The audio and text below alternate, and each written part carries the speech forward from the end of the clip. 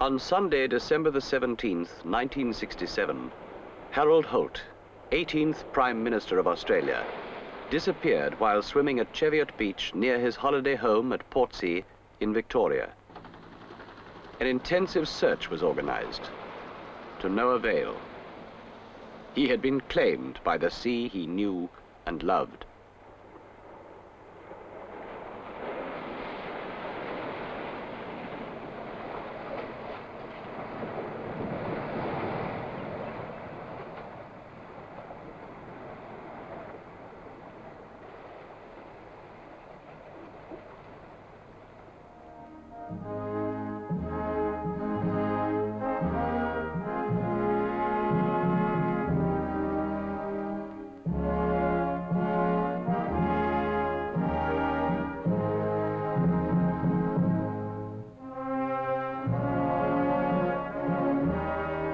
Soon after Mr. John McEwen had been sworn in as the new Prime Minister, he announced that a memorial service would be held on Friday, December the 22nd.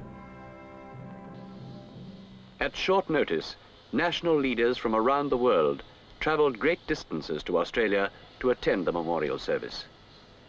Among the first to arrive was President Johnson of the United States of America, who had come, he said, to pay tribute to a friend.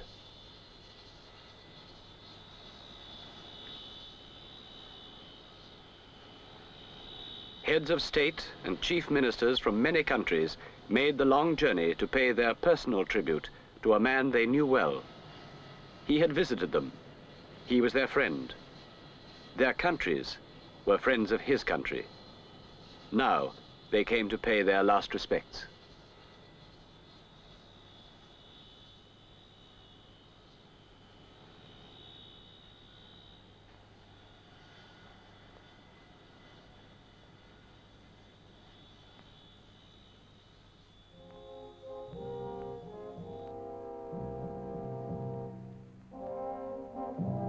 Prince Charles came, representing his mother, Queen Elizabeth, to convey her sorrow to the Australian people.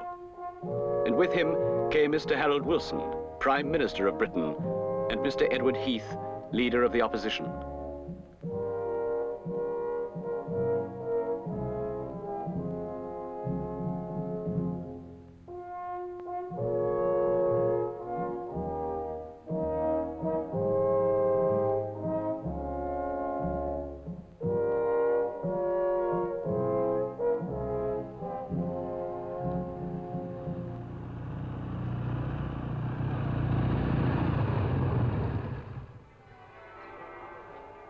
The memorial service to Harold Holt was held in his home city, Melbourne, in St. Paul's Cathedral.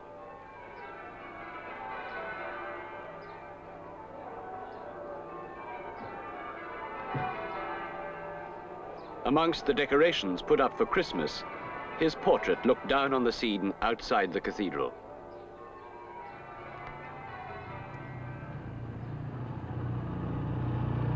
To the ceremony came the heads of state and ministers who had traveled to Australia for the occasion, resident ambassadors and diplomatic representatives, and many of his fellow countrymen.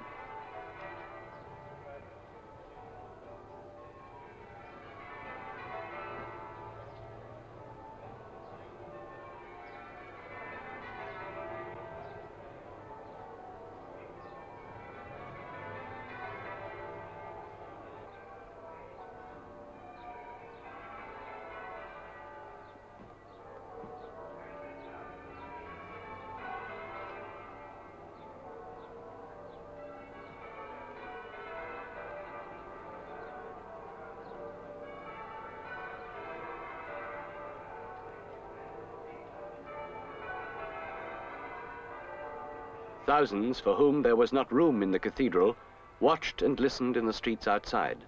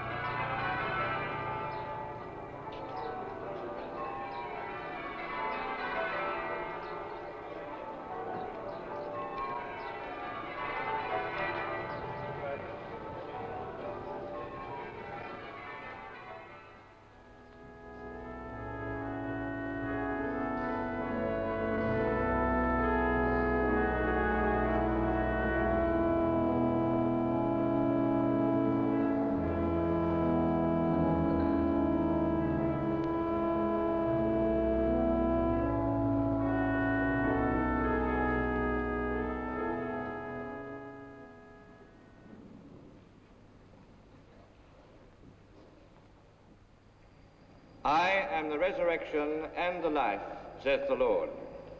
He that believeth in me, though he were dead, yet shall he live. And whosoever liveth and believeth in me shall never die. Blessed are they that mourn, for they shall be comforted.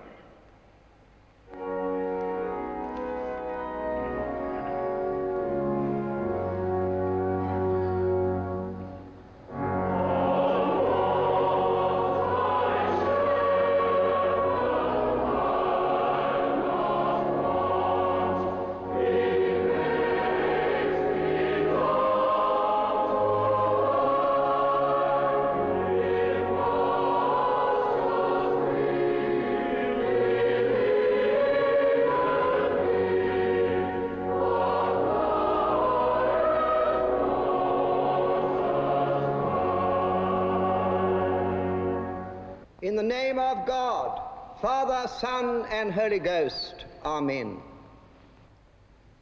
We are gathered here today to remember before Almighty God our late Prime Minister, the Right Honourable Harold Edward Holt, Companion of Honour, Bachelor of Law, Privy Councillor, to thank God for his life and work, and to commend him into the keeping of our Heavenly Father praying that he will shed forth upon him the fullness of his mercy, light and peace.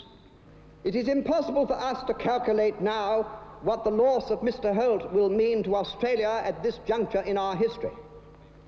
He had become a highly respected and greatly honoured world figure. By his visits to many countries, he has been perhaps the best ambassador Australia has ever had.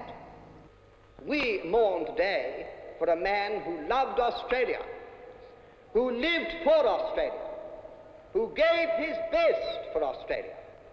On Friday, December the 22nd, 1967, Australians mourned the loss of a leader who had devoted his great qualities as a statesman and as a man to the service of Australia and had presented a new image of his country to the world.